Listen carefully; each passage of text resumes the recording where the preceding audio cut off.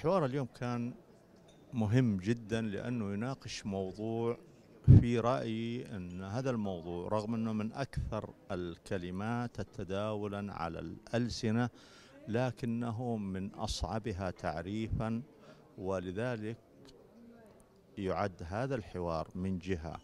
وما ذكر بأن هناك عمل على مؤشر للتسامح في المملكة العربية السعودية هو النسخة الثانية منه أنا أعتقد هذا هو حجر الزاوية الذي تنطلق منه أي مشاريع وبدونها سنظل في دائرة الكلام الإنشائي.